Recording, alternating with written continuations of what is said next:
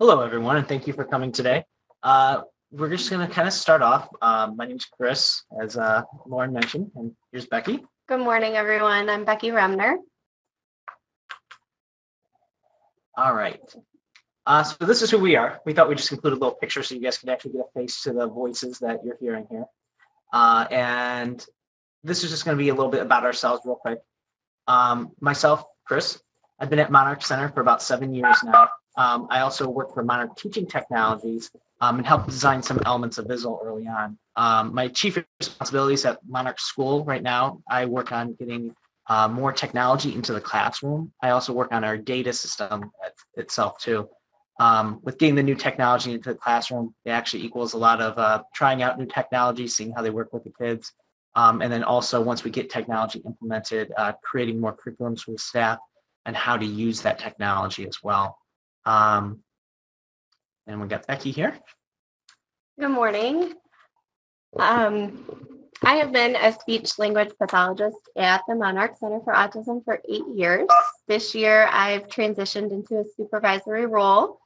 Throughout my time at Monarch, I've worked with students ages 3 to 22. I've done individual and group therapy sessions for nonverbal students, verbal students, um, lower level students with a functional track, and also some higher functioning students with an academic focus. Um, I have experience with AAC devices and using the technology with all levels of ability. So now in my supervisory role, I'm really working with the associate teachers in order to provide them instruction and training around using communication su- supports throughout the day um, and helping them with their specific assigned maybe math or reading goals and integrating that communication in those sessions.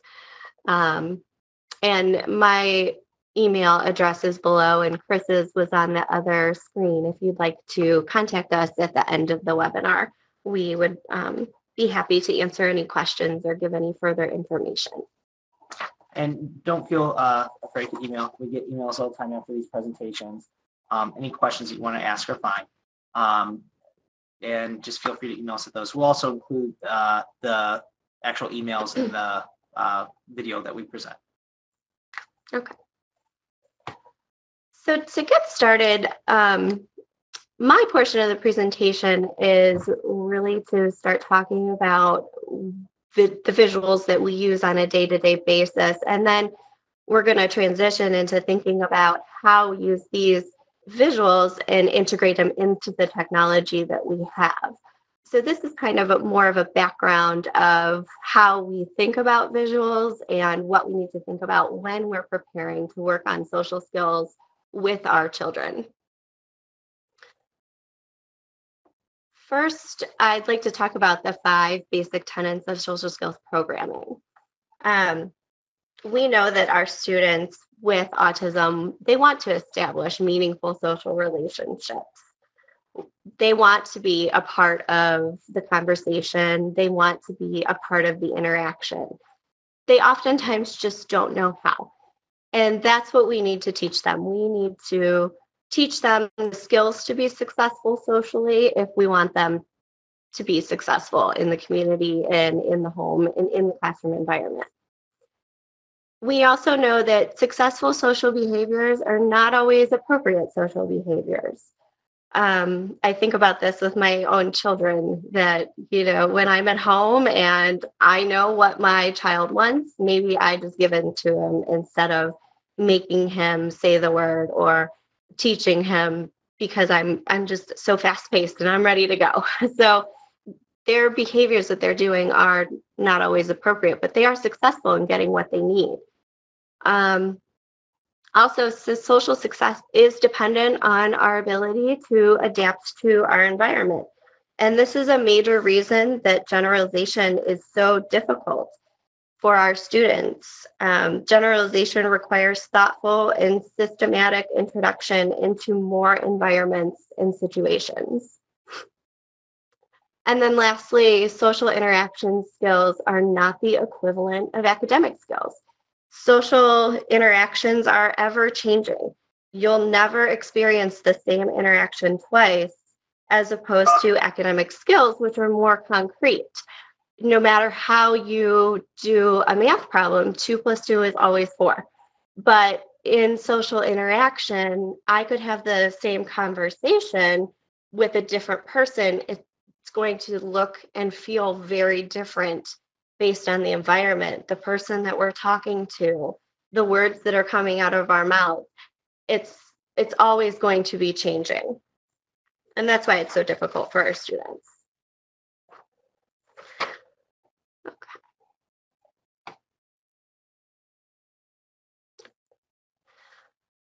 So next I want to talk about the root deficit. In thinking about skill acquisition and performance, we can either have the deficit in acquisition. So we think that the child does not possess the skill at an independent level. Um, or we can think about it as a skill performance deficit. The child possesses the skill, but not, does not necessarily perform the skill. And there are many factors that perfect, affect their performance uh, motivation, sensory sensitivities, anxiety, um, their ability to um, recall the information, movement differences. And some things that we do at the Monarch School to help with the performance deficits is think about what we're doing in the session. Is our environment optimal for learning? Have we reduced auditory and visual distractions, including the social distractions? Does the student have an effective way of communicating their answer? Um, have we provided the appropriate visuals or their AAC device or anything that is going to help the student make her his or her needs and wants met or give them the ability to answer the question appropriately? Are the students' sensory needs being met proactively? And we have a great occupational therapy department that helps us think about the sensory needs of the student and what we need to get them ready. Um, we also really think about our materials. Have we clearly presented the materials to the child where they can understand what we're talking about? So there's many things that we do in our school to tease out whether this is a performance deficit or an acquisition deficit. Um, and we definitely will consult with the different um, professionals we have in the school as well as the parents because a lot of times a student can do a skill in the home environment, but then when they get to a larger environment like a school where there's more people, there's more things going on, they don't perform the skill and they don't perform it independently. So we really need to to use our resources to figure out if it's the performance deficit or do we need to help them with the acquisition of the skill. Okay. So moving on to why are visuals important? Most students with autism spectrum disorders have difficulty processing the information auditorily. I have recently had experience with a student who had a two minute verbal processing delay. So if you said hello to him or you gave him a direction, you would sit and wait for two minutes for him to process the direction and carry it out, which can be a very uncomfortable amount of time to wait for somebody to understand the information and move forward. But if I gave him a visual of his direction, he very quickly carried out the direction and was successful. Visuals also have staying power social interactions are fleeting.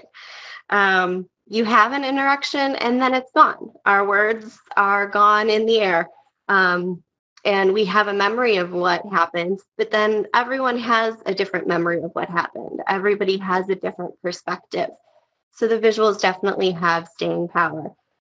Um, also, visuals give more information than speech alone.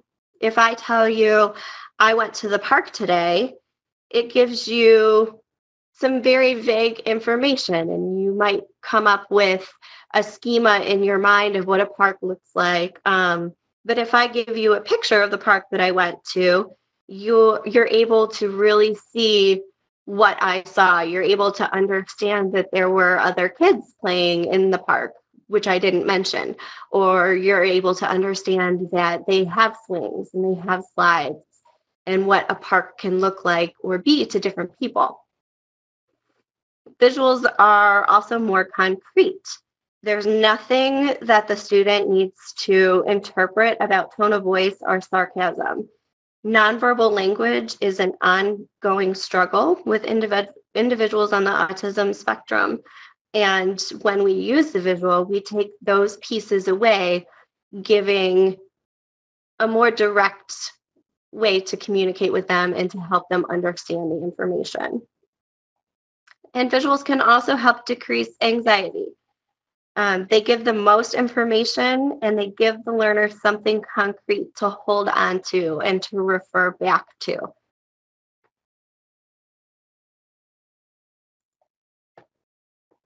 Okay.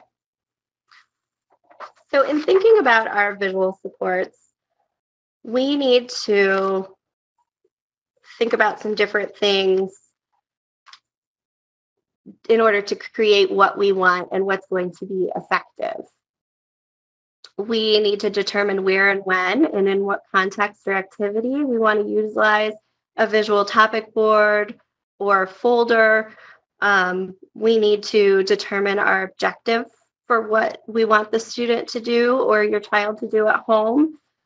If you take the example that you would like your child to participate in a conversation at the Thanksgiving table, you might want to um, think about well, okay, I want my child to ask and answer questions with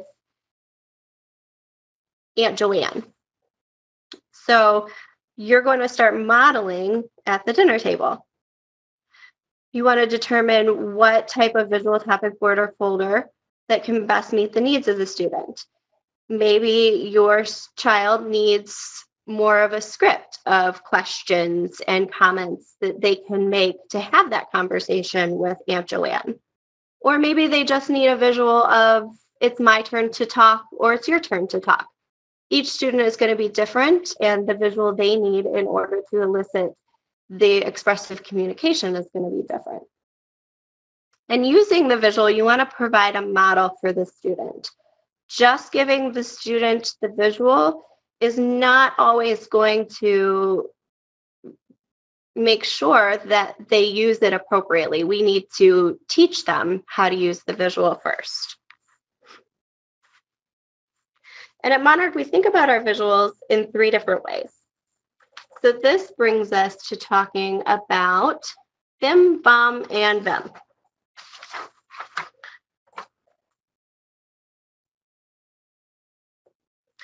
So VIM would be our visual instruction mode. And these are visual cues that we use for the purpose of comprehension, which are as an alternative to or in conjunction with speech. So remember that the visuals have staying power and the student can reference these visuals over and over again to enhance their compre comprehension of the materials we're trying to teach them.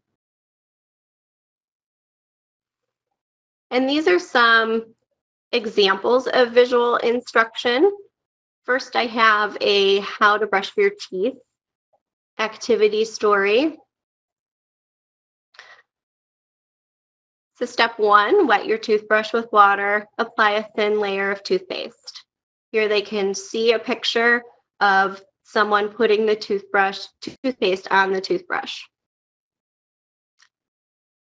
Here they're going into a little more detail. Start with your upper back teeth, left side, outside surface, and brush each tooth in a short circular motion for 10 seconds. And in this instructional tutorial, they're really focusing on having the students, um, instead of just completing the task, they want to make sure that the student is is doing it effectively and um, and doing it thoroughly. For some students also, this may be an okay level of language. For some students, you may need to tailor back how much language you use. Is your student going to understand upper back teeth, left side, outside surface? Um, some will, and some will need a little less uh, words in the in the um, instruction. So here we go through the different steps of brushing teeth, being thorough. And these are all very specific pictures of what these, the language in the steps mean. Inside surface of lower front teeth. I can see what exactly I'm supposed to do.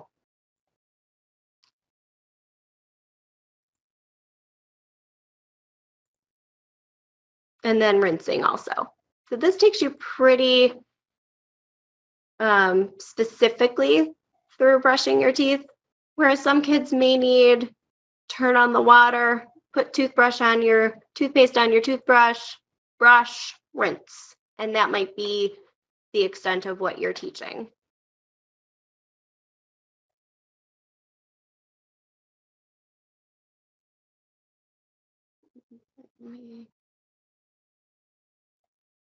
Sorry, I'm trying to go back to the original PowerPoint. Okay, there we go. Thank you. Another example here of visual instruction is our dress buddy. A lot of the teams use this in the morning in conjunction with their calendar and weather. Uh, it's a nice interactive visual for use on the smartboard so the students can see that the weather is raining today. So they would dress the boy appropriately for going out in the rain and um, and teaching those skills with the visuals.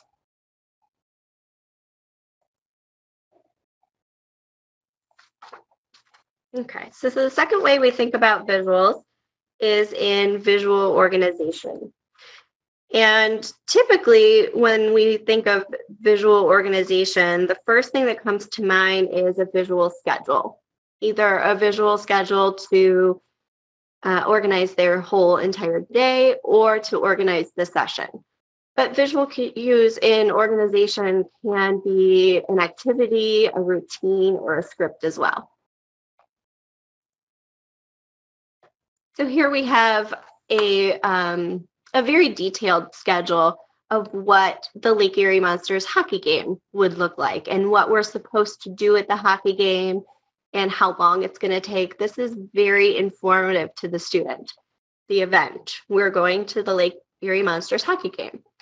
It gives us a where, so the student can know the location. Maybe they need how long it's going to take there to get there as well the who, who's going. What we're going to do is more of the micro schedule of the game. So we're going to drive to the game, wait in line, find our seats, watch the game. Maybe a student needs to take a break and watch more of the game and drive home. This gives information about how long we're going to be there and also a reward. So we can eat a snack, we can play a game, see the mascot, watch the dancers. So those things might be motivating and they can choose one in order to end their schedule.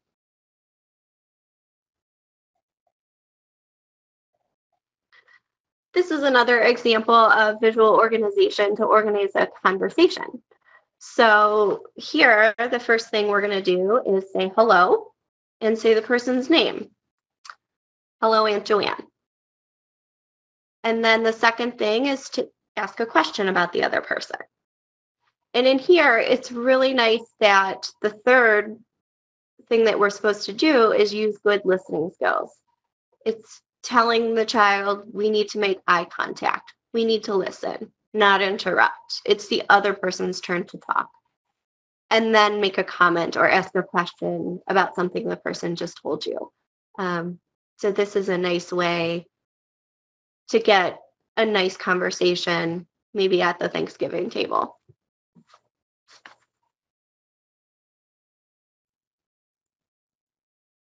Okay. The third way we think about visuals is in the area of expression. This is any visual cue used for the purpose of expressive communication. For nonverbal students, this may be in the form of using their augmentative device. For verbal students, which we often forget that just because a student is verbal doesn't mean they don't need visuals in order to help them retrieve the words they need to express clearly how they feel or what they need or make a comment about something that they see. And for verbal students, the most common visual we use is a topic board. And there are a few types of topic boards that we can use. First, um, I'm going to talk about a static topic board. This type is a printed page. They can use the board as a visual support to produce language. Students or staff can point to the visuals on the board, and the board can be organized in a few different ways. So we can do by parts of speech with single words. So a student may be able to go from left to right across the board and create a sentence. I want to eat the chips or by whole comments. So maybe one of the boxes on the topic board would be the whole phrase, I want to eat chips.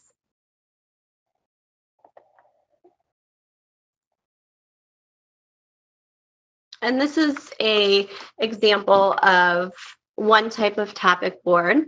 This is a single word and it also has phrases, yes, no, maybe, more. And you can use this at the holiday table to say, I'm thirsty or uh, I'm hungry.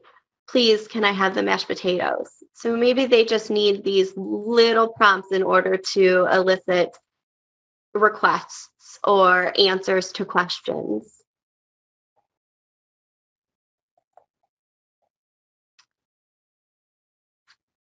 Here we have a similar type.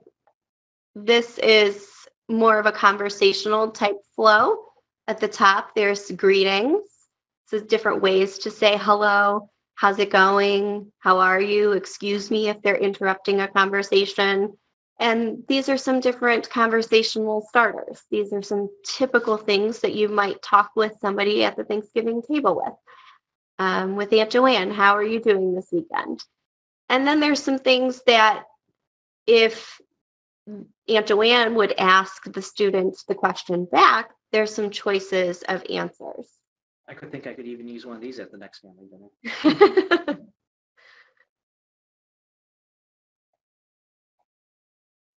okay, another type of topic board would be something more manipulative. So the board is set up so that the components of the board can be moved or arranged. And this type of board stems from the use of PECS, can be a nice step up from PECS for students who are ready to expand their utterance. So maybe the um, the board that I was talking about that has I want to eat the chips um, can be movable. So they're moving the I down to the sentence strip. They're moving the want down to the sentence strip, and they're building their sentence um, and they're able to provide that movement of the icons. Other types of topic boards include topic folders or flip books. They can be made to expand social language, to create multiple communicative turns. They can be set up to include different phases of a conversation first you're going to do greetings, then you're going to do some comments or questions, and then you're going to do partings. And the staff may also need to provide students maybe with a visual schedule of how to progress through the visual folder. And in the next slide here, I have an example of one of the folders I've used for my students in a group. And this was really nice when we did weekend update. So the in the top left hand corner, you'll see the visual that was on the front of the folder giving a greeting. Hello, Miss Liam, how are you? And then they open up the folder and it's the blue boxes for the initial questions. What did you do last night? And then when I would answer, a follow up question in the green could be, How was it? Or did you like it? And then closing the folder on the back would be the bottom left hand corner, a couple different ways to say goodbye or end the conversation and see you later, talk to you later, those kind of things. If you're using a visual schedule with this folder, you could label each page one, two, three, and four, and maybe your visual schedule will go number one. So you want to say something from the first page, number two, number three. And if you want to expand the conversation, you may do another two, three, and then four to say goodbye. So then you've got two conversational turns uh, that the student's participating in.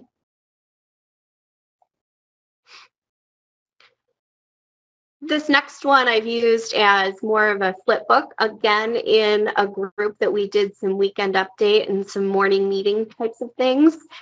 Here we had a student would be presenting what he or she did over the weekend.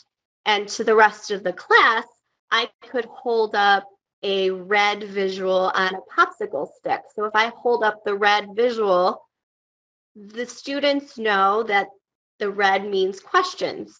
So they could pick one of the questions to ask their peer. If I held up a blue visual, they would know they'd go to the blue page to make a comment.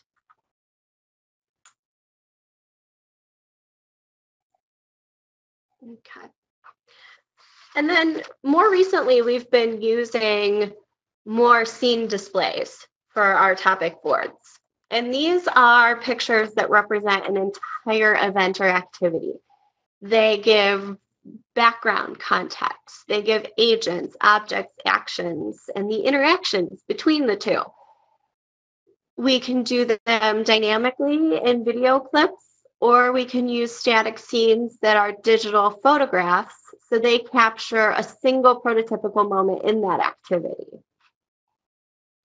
And down at the bottom, I have smaller pictures of what you'll see here. This is visiting the grocery store. And these I took off of Autismate, which Chris will talk about in a few minutes, but you could also create something like this on paper. Um, if you're visiting the grocery store and you want to um, say hello to the cashier. You might point to the cashier, or you might point to the Reese's peanut butter cups in order to request those. If there's somebody else in line, you could prompt the student to say, Excuse me. Many different ways to use this. And here we have a picture of a bedroom and requesting activities. Um, there's the blanket, there's the TV. We could ask to turn the TV on. Um, and we could talk about the different items and actions in the bedroom that the student is to participate in, or maybe you want them to make their bed. Um, and with Autismate, it's really nice. You could even click on the bed and have a nice um, sequential instruction of how to make the bed.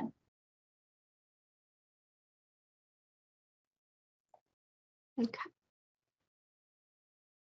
So now I'll hand it over to Chris. He'll talk about more of making these visuals and how to make these visuals and then transition it over into the technological side. Yeah, with the visuals, uh, one of the ones that we tend to talk about the most, and just in the sense of creating visuals in an ad, in an analog sense, so paper, pencil, all that type of fun stuff, is Boardmaker. Um, and the reason why we talk about Boardmaker is just because of the fact that Boardmaker itself is kind of the, the most well-known uh, visual creator out there. Um, it can be expensive, and if you break those CDs, it's it's expensive to replace them. Um, but they have such a great library of pictures um, that you can pull from, and it's pretty easy to create visuals uh, with that. Um, one of the ones that we also talk about is Vizzle. Uh, the reason we talk about Vizzle is because it grew out of Monarch Center for Autism. Um, myself, I worked on it early on, uh, and then I came back to the school. Um, but Vizzle is essentially software that is uh, takes all these visual elements and it puts it in the hands of the teacher. So basically, you can create from templates visual activities. So things like stories, matching boards, um, sequential activities, and schedules.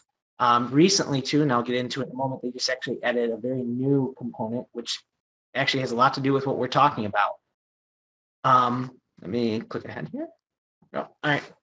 One of the cool things about Vizzle 2 is they've added a Vizzle player. Uh, the player is essentially any of the components that you create on Vizzle, you can then open them up on an iPad or an Android device, and you're able to then take these visuals and put them in the hands of the students, uh, which is really powerful. Um, when I first started working for Monarch Center, uh, we got a bunch of tablets in. This was back in like 2006 uh, for, for this project, but back in 2006, we got these tablets in that were very basic tablets. Uh, they were Windows tablets and they didn't have very much space on them and we we tried to see which ways we could use these with the students. So it was even before iPad days and all that. Um, but one of the things that we wish is all these visuals we are creating, we wish we could put them on there and that we could have access to them and make them more engaging. Um, and so with the advent of the iPad and then also tablets after that, um, the applications have become more well developed. Um, Vizzle itself is very well developed and allows you to take those visuals that you've created and then put them right on the iPad for the student to be using so talking about that template they added recently, uh, they actually just recently added a topic board. Uh, topic boards, as uh, Becky was talking about here, are a great way to start conversations with students. Um, it allows teachers to create open-ended communication experiences with them. And what's really great is you can customize this to any way you want. Um, Vizzle also just added a component where you can integrate with Google Images. So you can grab images right from Google and pull that into the projects that you're creating for the students. So it's really great. Um, I don't know if we're gonna be able to do a demo. Let's see if I can. Let me see here.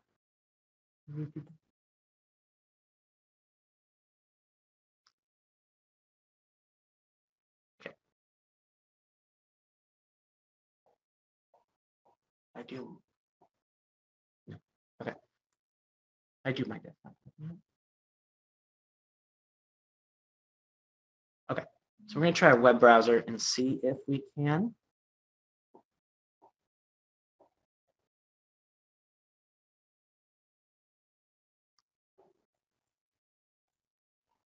Okay. All right, so this is the Go Vizzle website here.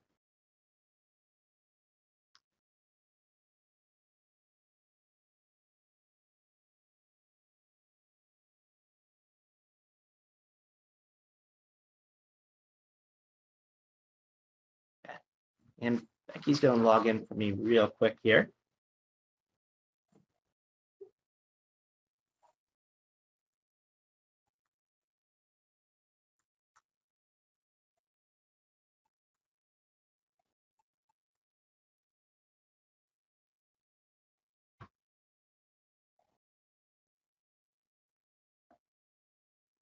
Cool. All right, so this way I can actually show you guys off a little bit of the topic board. Now with the topic board, uh, where I'm going to be loading it from is Vizzle's library. Vizzle has a huge library of already created visuals. So it kind of really helps us out with this. Uh, so.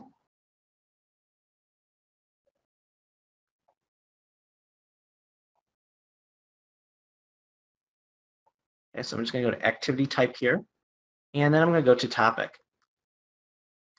That way we can just see all those.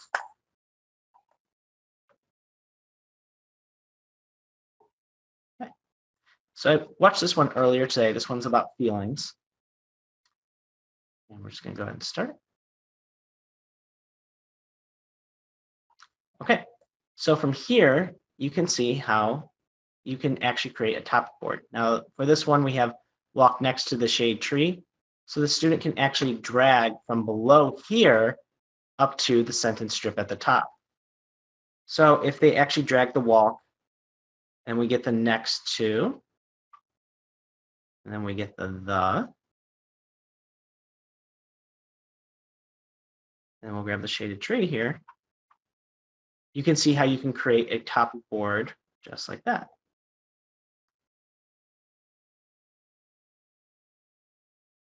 And there we go. Um, now, again, Vizzle already has a bunch of these created, but you can create this yourself and you can customize it, adding your own uh, images and uh, text and stuff there.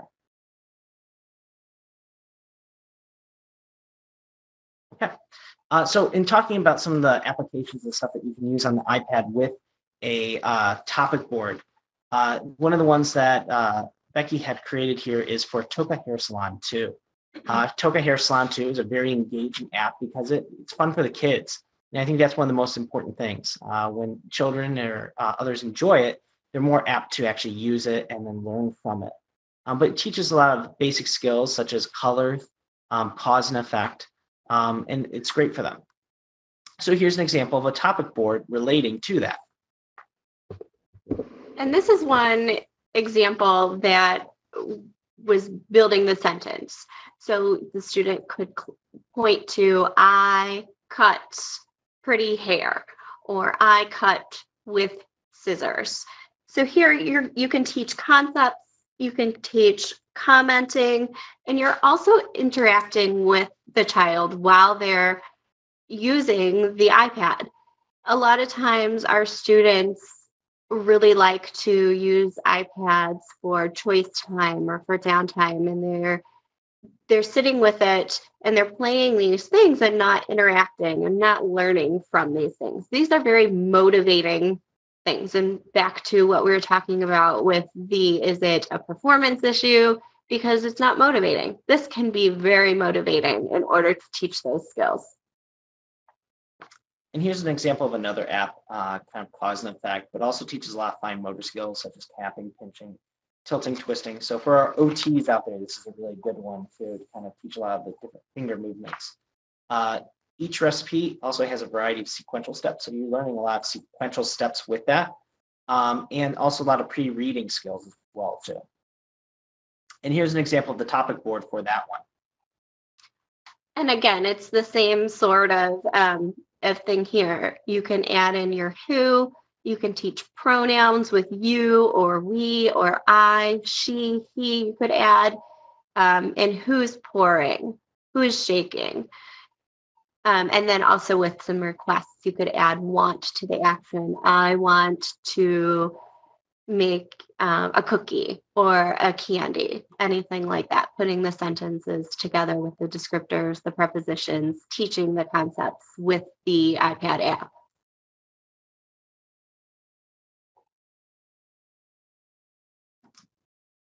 Okay, so as uh, Becky mentioned, one of the applications uh, that we talk about the most with uh, visual and scene cues is Autismate. Uh, the reason we talk about Autismate in that sense is because Autismate allows you to actually set a scene. Uh, with that scene, you're able to then to add hotspots to it. And when you click on those hotspots, you're able to actually see uh, what you could say for that location or what's going on there. Um, one of the cool things that they've added to it too recently is more of a GPS functionality. So you could actually add for like, let's say I'm going to the park or zoo or something like that. You could actually say, hey, when I go to the park or zoo, let's bring up some uh, scenes for that particular location. Uh, it also has a great ability to uh, add your own content to it too. Uh, so your own pictures and visuals. And I'll get into a lot of that when I talk about the iPads and how to create that type of stuff there.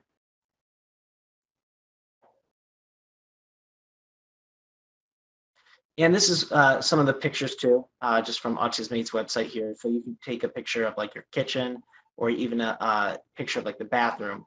Um, my favorite part about it is that you can add video sequences too. So I could say, hey, we're gonna make a peanut butter and jelly sandwich in the kitchen.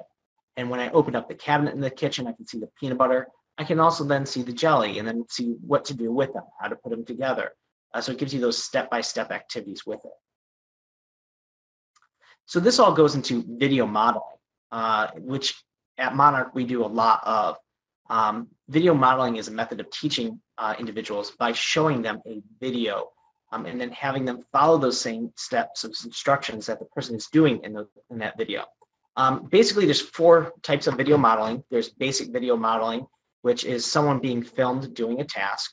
Um, there's self-modeling, where you have the person who's actually viewing the video having them do the task. Then there's also point of view video modeling, where you're actually getting from the point of view of the person doing the task. So not just from an outsider perspective, but from what they would actually see themselves. And then there's video prompting, which consists of multiple steps in breaking down the video task. Uh, what you see in Autismate is that you can do stuff like video prompting, but you can basically do any type of video modeling you want through Autismate because you're able to take any of these type of methods or methodologies and apply it. Now, one I'm just recently been talking about and uh, interested in with point of view is that now we're kind of at a point with technology and being a person who's always interested in what's on the cutting edge and what's coming out, that things are getting smaller, things are, are becoming more wearable, if you will. Um, and wearable is a big topic right now in the technology field. Um, a lot of times you'll see these new things out on the streets now. They're called GoPro cams. Uh, I actually was driving home one evening and I saw somebody on a motorcycle race past me and they had one of these on their helmet. So essentially what this does, it allows you to capture video from the point of view of the person wearing it. So this is popular in a lot of sports right now. Um, also, I was at a wedding recently and somebody was wearing one of these. So kind of going up to people, greeting them at the wedding, kind of seeing the whole conversation in the wedding from a person's point of view. So it's kind of a unique way of seeing your surroundings. Um, as this technology evolves and gets smaller and more wearable, you could easily see a student wearing something like this, um, maybe even as a pure model for, for a program, capturing the video of doing tasks and then being able to use that point of view video for teaching other students. So with video modeling um, on the iPad or a tablet, I mean, any tablet can really work for video modeling, but I say iPads because that's primarily what we use here at Monarch Center. Uh, we're actually right now approximately at over 100. So we've been kind of really incorporating a lot of them into the classrooms. Um, our SLPs use them individually with the students as well. So we have quite a bit, about, quite a bit of iPads out there. Um, with the iPads or with any sort of uh, tablet, what's really great too is it allows you to have the capacity to store a lot of these videos on there. Um, prior to when I was talking about those old tablets that we used back in the day, those tablets didn't have very much storage. Um, and when you're filming a video, uh, especially on these devices too, it uh, films in full quality, HD quality. So that take up a lot of space. So when I people ask me about iPads or tablets, which ones to get, I usually recommend probably about a minimum of 32 gigs now because a lot of these are taking the video in 1080p. So this gives you enough space to store these videos on the computer or on the iPad, and then also uh, space to edit them too, uh, which is important in uh, creating good video models. So we're going to go into some video modeling examples.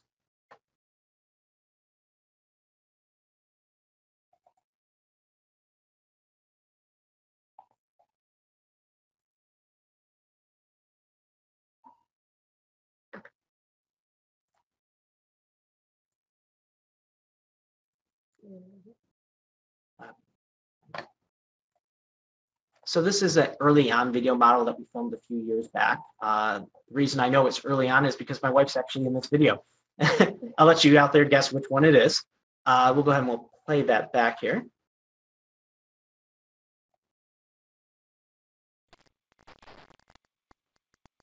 Okay, there's one minute left. Start cleaning up, please.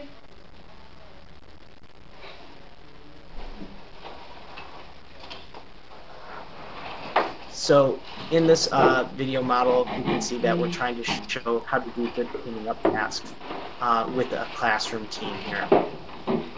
In the classroom, the, the team is actually show, serving as the peer model or the peers in this video to show the staff or show the team how to do that.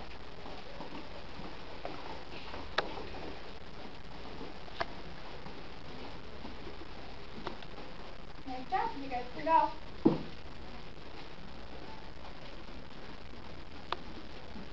So that would have been an example of like a basic uh, video modeling. Up next, we have one from our OT team.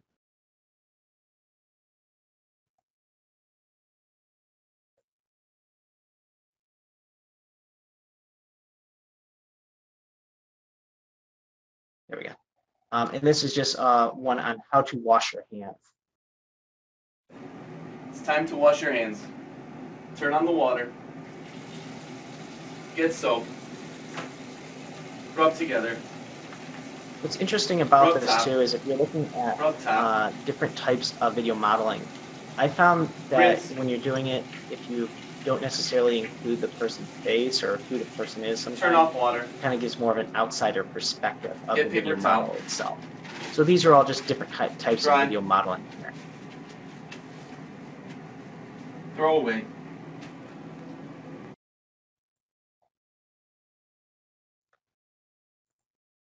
Um, and we won't play this whole one through. This is actually quite long. It's Hi. 16 minutes. How are you? Uh, and this is actually from a project that we started doing Oh, recently. nice where we were job. showing how to I'm gonna do do some fun stuff, video okay? modeling using the iPad.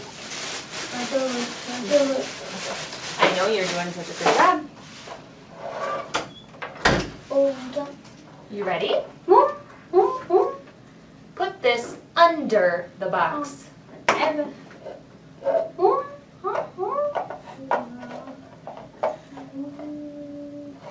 Nice answering.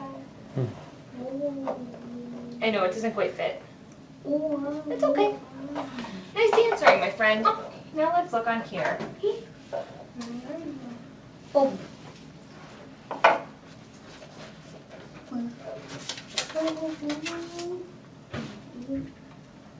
Are you ready?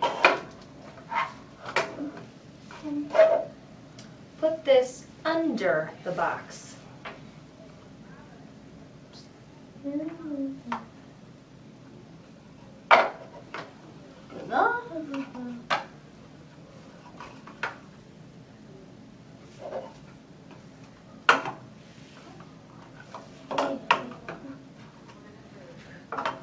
Nice answering. Hi! These are quiet voices in school. I'm really interested to see this. That was just an example of one of the video models there. Um, again, what we do right now is we're filming a lot of these video models, and we actually just got a grant to do some more uh, for staff training and stuff like that. Um, so, in talking about video modeling, um, also another aspect of it that isn't really touched on that often is video model- modeling through teleconferencing, or think of teletherapy. Now, for 10 years, about 10 years ago, when video conferencing just started coming out, um, it was a big thing, and it was equipment that filled a whole room. Um, I did my undergraduate at John Carroll, and I remember being in some classes where we did uh, video conferencing, and their equipment was a closet full, and it was a big projector and a bunch of cameras and stuff in order to get the whole room.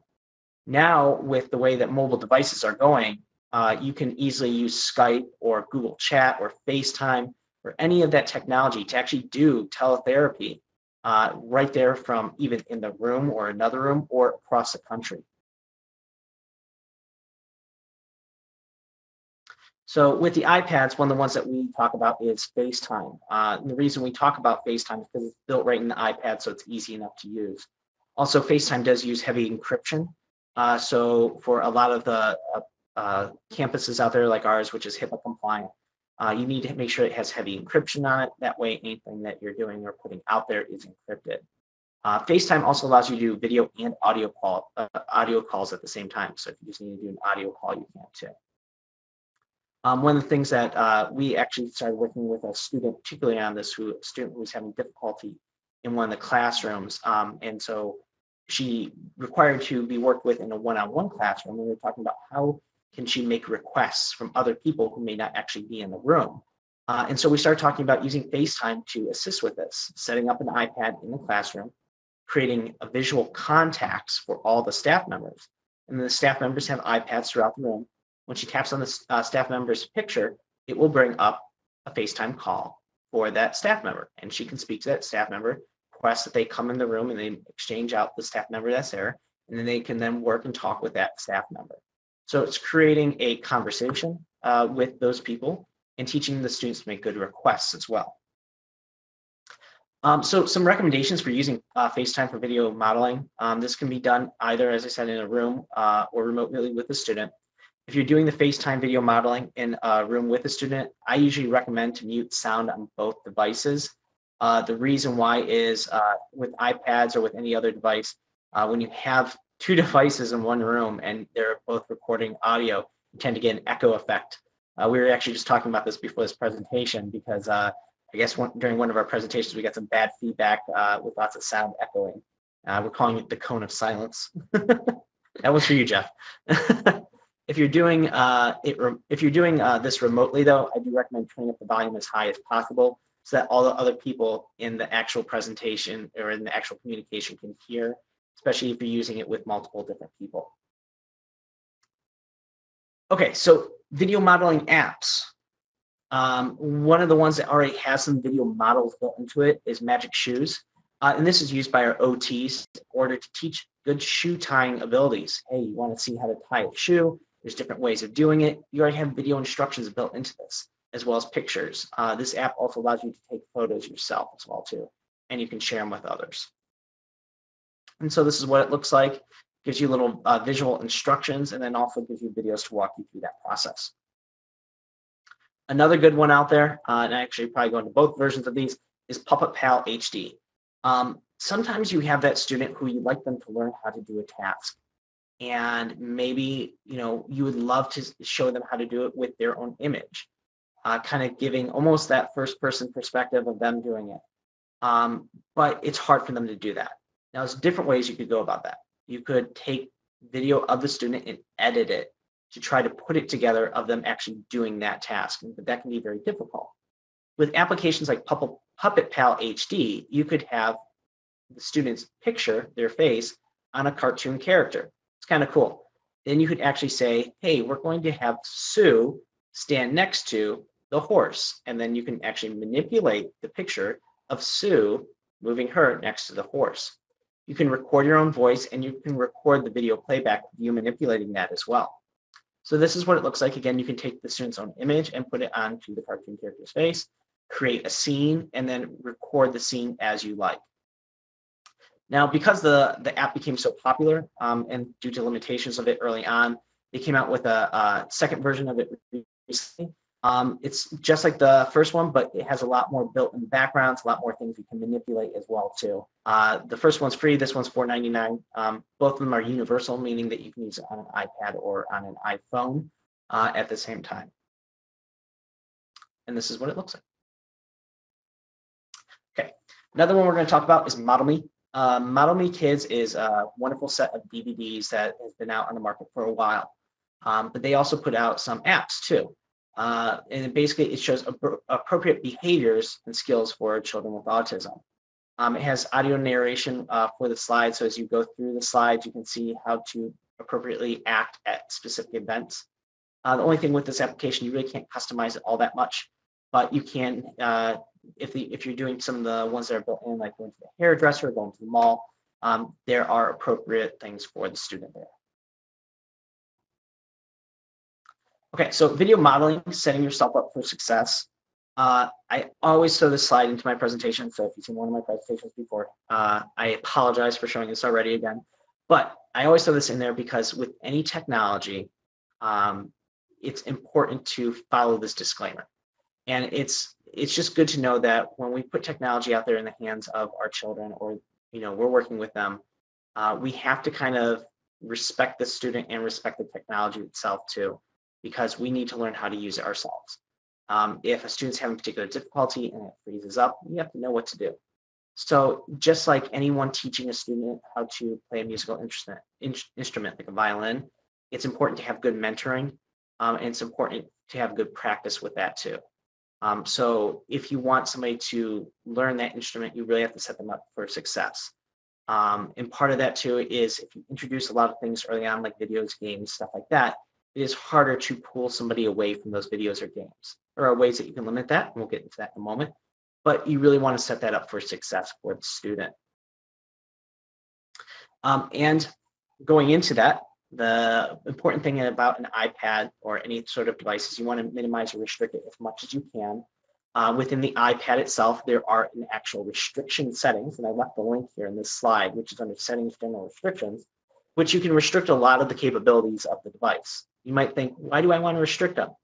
Well, after having set up 100 something iPads and then having students delete all the apps off them, you might wonder why you might want to set restrictions on some of the iPads. And part of that is that you just want to make sure that you're able to pick this up and use it on a daily basis without having to reset things up or remanage them. So setting some of these restrictions can help uh, help you focus a little bit more on the actual uh, event that you're working on with the student and not so much on the maintenance of it. Another thing is when you have an iPad or iPod Touch or anything like that, you can also restrict the particular app you're using using something called guided access. And this is a feature that is built in under the accessibility settings. This, this actual process allows you to lock an app into place. So usually on an iPad, uh, you can hit the home button, which is that little button at the bottom, and that will take you back to the home screen. Um, you can imagine if you're trying to work with a student on a topic board or something like that, if they tap that home button and they exit out of the actual app itself, this can be jarring and it can kind of disrupt the, the teaching for the student. So with guided access, uh, you can turn this on and it allows you to set a passcode and lock an app into place. And it's pretty simple to use. Um, essentially, when you turn on, you can tap the home button three times. It activates it. Uh, you set the passcode, and then that app is locked in, in place. When they try tapping the home button, uh, they will get a passcode pop up that will ask them for that passcode to exit out. What's cool about it too, though, is if you have apps that have particular settings or something that you don't want the student uh, really changing or manipulating, you can actually restrict that by just circling parts of the screen that you don't want them to manipulate or change. And that when they tap that part of the screen, that part of the screen won't work as well. So it's pretty cool. And actually, a lot of schools who have uh, moved to some of their testing stuff on iPad, iPads actually put this in place so that the students can't exit out of the apps themselves. So taking photos or videos on the iPad. Uh, here I have a nice picture of an individual trying to film a wedding on an iPad. Um, I recently at the wedding I was at saw somebody trying to film part of the wedding with an iPad. And it's always a little funny to me just because of how large they are and stuff like that. And do a little chuckle to myself. But um, at concerts and stuff I've been at recently too, are filming stuff on iPads or on iPhones. Um, everything we do nowadays is being filmed. Um, but if you're trying to do this type of filming, you want to try to set yourself up for success with that. Um, and one of the things to think about most is the orientation of it. So if you're holding the iPad uh, in that direction, the up and down direction of it, what's going to happen is you're going to get that vertical up and down video. So really you want to turn, turn it horizontally. And the reason why is because then it makes the video horizontal, um, which will allow you to take up the whole screen. And especially when you're putting something like this on like YouTube or something, you want to be able to have as much of the area as you can. Also, just like any video editing or video filming, um, the best thing to do is to minimize interference in the background. And one of the best things that you can do for that is not having so much shaking or uh, moving about. Um, and part of that can be solved just by having a tripod. A tripod will allow you to put any sort of camera or anything attached to it in a steady fashion. Uh, they actually now make tripod mounts for iPads. They're about 30 bucks. And you can get them. You can put an iPad up on there. It'll keep the screen steady so it's not shaking as you're filming the video. Um, but also talking about minimizing the setting. If you have any uh, anything in the background, such as background noises, people slamming doors, stuff like that, it's always a good idea to minimize as much as possible by removing those things from the scene that you're trying to film. So editing photos on an iPad. You can edit photos on an iPad, yes. Uh, you can also uh, edit video as well too. Um, for photo editing, the iPad has some limited built-in uh, settings. Um, you can find these right under the photo part of the iPad. So if you go to your photos area, you bring up a photo, uh, you can tap the edit button. Uh, from here, you can do some limited stuff such as rotate a picture, enhance a photo, apply filters, remove red eye, and crop the picture as well. Um, for removing backgrounds or enhancing them, um, I usually recommend trying to take those pictures off the iPad and do it on a computer itself. Um, for this, there's no better applications than using Photoshop or GIMP. Um, these are both uh, well-known photo editing applications. Um, just because if you're trying to remove stuff from the background, it can be a little bit difficult. However, if you want to give it a try, uh, there are plenty of applications out there on the iPad that do photo editing now. Um, just like Photoshop for uh, computers, there's also a Photoshop Touch for the iPad. This does support layers, cropping, gradients, columns, filters, paintbrush. Uh, so it has quite a bit of editing capabilities. It is not as powerful as the desktop version though. Uh, so these are just a couple of the app, uh, apps that I've seen out there that I've seen people using iPads and have good success with. So Adobe Photoshop, PhotoForge 4, and PhotoGene. Now, if you're trying to edit video on the iPad, uh, video on an iPad actually has uh, a few more limitations of editing than the actual uh, photos. Um, and that's primarily because what you can do on an iPad is you can crop and trim off the ends, so the sides, but you really can't crop from the middle. So for instance, uh, for a presentation or something like this, if this is like something we're posting to the web, you might cut off little areas of um, where we're waiting to do something or something like that because you don't want that to take up so much space. So on an iPad, if you have a video that you're filming, you can cut off the ends, uh, the front and the beginning, but you really can't cut out that middle. Uh, for that, I generally recommend a third-party program, and really there's no better one than iMovie for the iPad itself. Um, actually, Apple itself made iMovie free for any new devices that are purchased after this past October of 2013. Uh, so when you're talking about, hey, I'd like to add maybe a caption to a movie or something like that, you can do that really, really quickly through iMovie. Allows you to pull in your video clips that were filmed directly on the iPad, and you can edit them right there. You can cut out parts, you can add your own audio to it, um, and you can also import other videos as well too. Another really good one that I've seen people have a lot of uh, success with is Pinnacle Studio. And the reason I recommend this one as well too is because Pinnacle Studio has a lot of what I call getting the video on and getting the video off abilities. Uh, through iMovie, really limited to the videos that you've taken with it and loading the stuff through iTunes. Now through Pinnacle, you can also load the stuff from, from Vimeo, from Dropbox, Google Drive, SkyDrive. So really you can move all of these videos onto uh, the iPad itself from other sources. Um, so if you take a picture on a camera and you've loaded that onto your computer and you put it in your Dropbox, you can then access that right on the iPad itself. Um, this this application also has a gesturing interface, um, and it also has a lot of good uh, good deal of effects as well too. Um, just like you have a lot of ways getting on, you have a lot of good ways of getting off. So you can export it off to Facebook or Box, which is a uh, application that's a lot like Dropbox, and also YouTube as well. And this is what this one looks like. So basically it, gives you the timeline functionality. iMovie gives you something similar. It's a timeline where you're able to drag and drop the videos on there and you're able to edit the audio under there as well too. So where do iPads store pictures? Um, this is kind of a common question I get a lot of times like, hey, I can't find my stuff. Where is it? Because uh, recently in iOS 7, it can be a little bit more confusing. Um, but if you look on the bottom of your device, when you go into the photos, there's usually something called albums, and then there's camera roll. Camera roll is actually all the photos and videos that were taken on the device itself. So when you take pictures, you take videos, it's all stored in that camera roll. Um, and it's saved there uh, where you can then use it in other applications. Most applications, like if you open iMovie, it'll say, hey, can I have access to your camera roll? That gives iMovie the ability then to take pictures and videos from your camera roll. So how do you get content on and off an iPad? Uh, if you wish to load video from a third-party source or something like that, usually you have to load it into iTunes first. Uh, on a PC, you can do this through iTunes and set up uh, a video sync folder, so videos that you want to sync over. On a Mac, you can just load the videos and pictures into the iPhoto library and then sync the albums over to the device as well.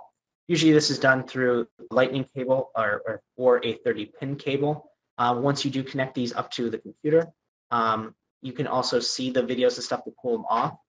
When you uh, have the iPad connected, you'll see something that pops up like a like a drive, and really it's the iPad itself.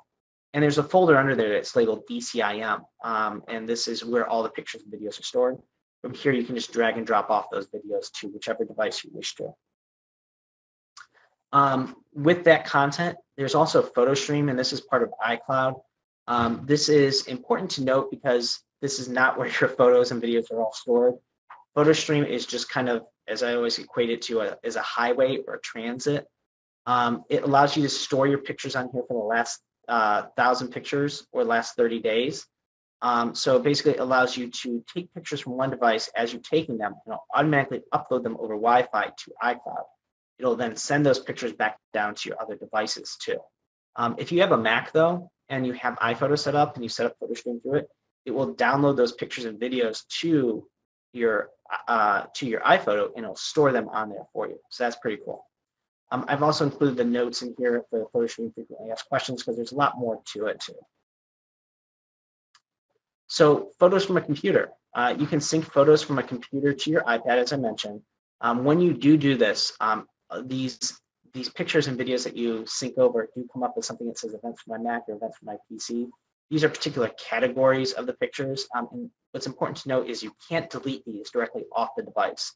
You have to remove these from uh, the, the device that you sync them from. Um, these photos and videos uh, can be used in other applications as well too. So with all this, when you make uh, or you customize anything on your device, it's always important to back it up. Uh, the reason why is I've seen plenty of devices that get damaged in my time. Uh, and when devices get damaged, if you don't have a backup, you may lose that content.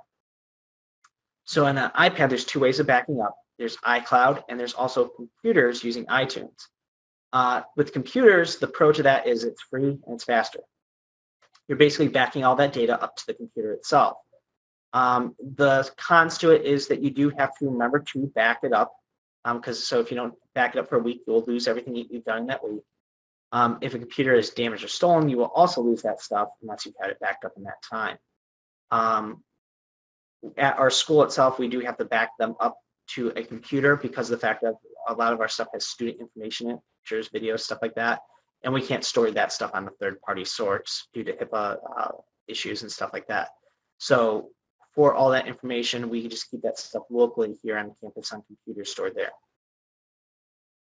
Now with iCloud, um, it is a great way to back up. Uh, and if you a if you are an individual, so for myself, my own personal stuff, I have my own personal stuff on the devices backed up to iCloud.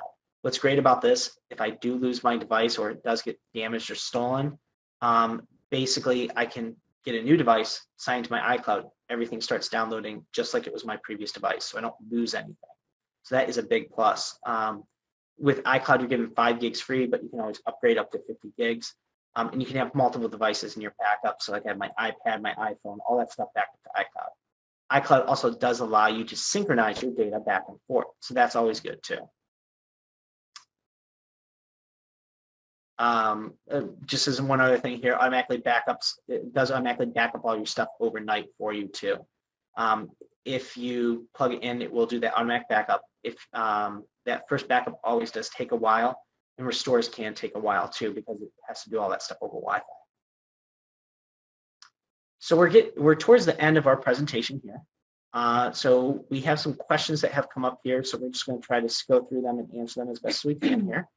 Uh, let's see. The first question was where do you get the visuals?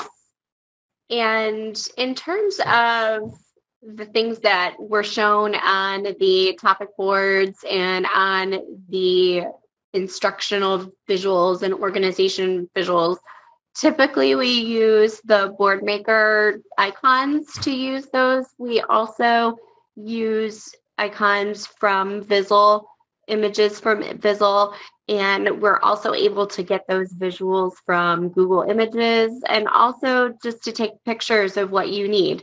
Some students don't understand an image or a line drawing of a frog, let's say, but they understand a real picture of a frog. So in that case, you're going to want to either do Google Images or take a picture of the item itself. I hope that answered the question for where do you get the visuals? Also, if anyone has any other additional questions too, uh, we're going to keep going through these, but on the right-hand side there, you should have a Q&A question section there. You can go ahead and ask your questions there and we'll go through them.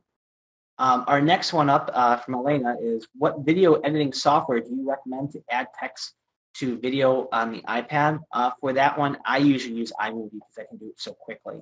So if I'm just on uh, in a video or something like that, I can pull that video into iMovie and I can add a, uh, a um, text right to over overlaying over the video itself. I can also add a pause in the video if I want to just kind of put that text up there and then come back to it. Um, so it's great for that too. I think this is the same type of question. What was the software and types of topic boards that you set a video and label items? Is that the same?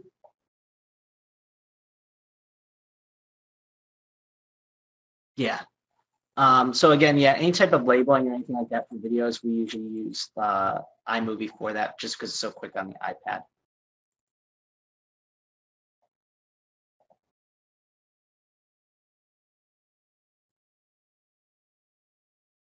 Any other questions come up?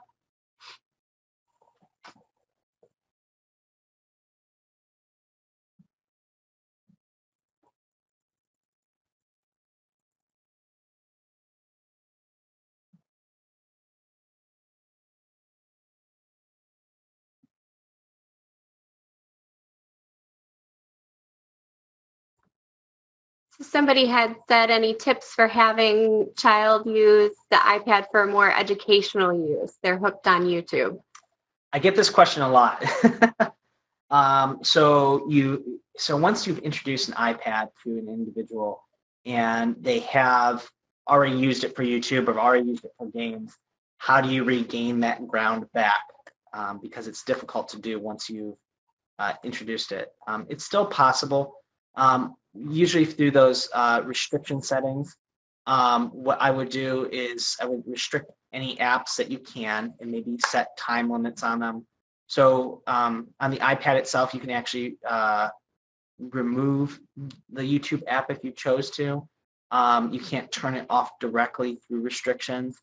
Um, but what I would do is I would maybe put in guided access for apps that you want them to use, and then maybe set a timer for them. Have the timer pop up uh, with an alarm when they can use it, and then you would have to manage it by taking them out of guided access and then into the YouTube app, and then maybe put the YouTube app on there for about 10, 15 minutes or so.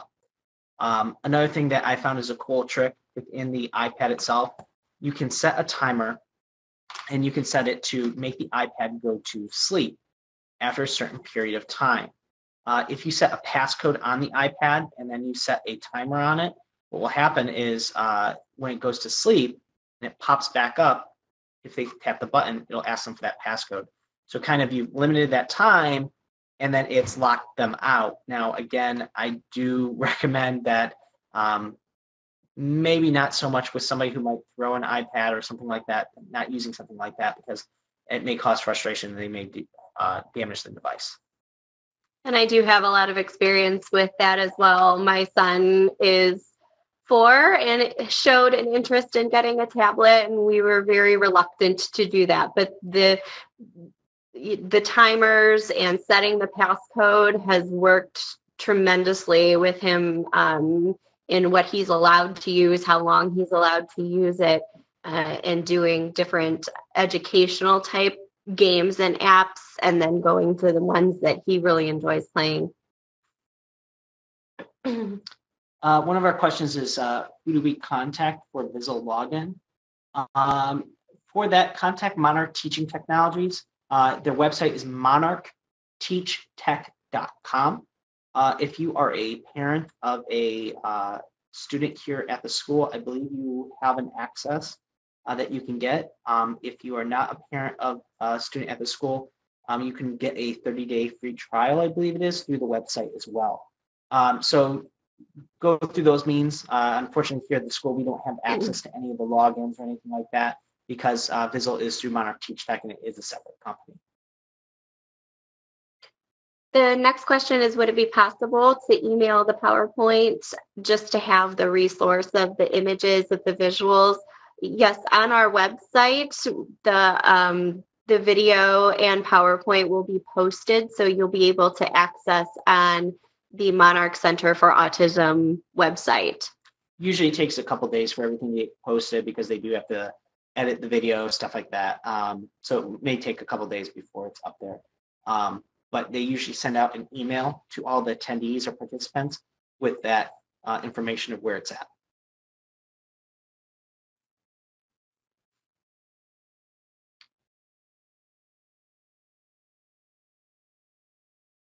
Okay, if anyone doesn't have any other questions, uh, we're just going to uh, put this slide up here as well too.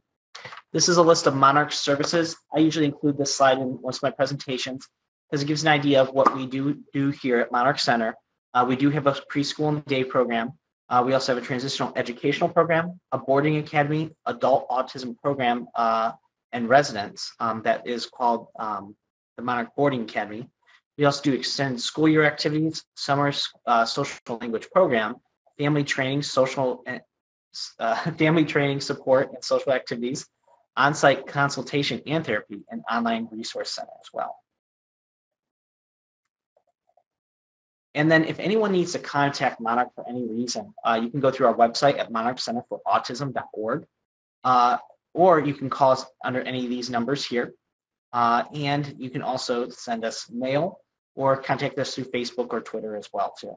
Uh, Lauren, who you talked to before or who did this presentation uh, at the beginning of who started off this presentation, uh, manages all those uh, social media things. So if you need to contact us, she's a good person to go through too. And also at the beginning of the presentation, we gave our email addresses if you have any further questions or comments regarding the presentation. Well, we want to thank everyone for coming today. Uh, we really had a great time doing this presentation. Uh, if you want to check out any of the other presentations, they're usually uh, put on Monarch's site of when they're going to occur. So feel free to sign up for any of those in the future.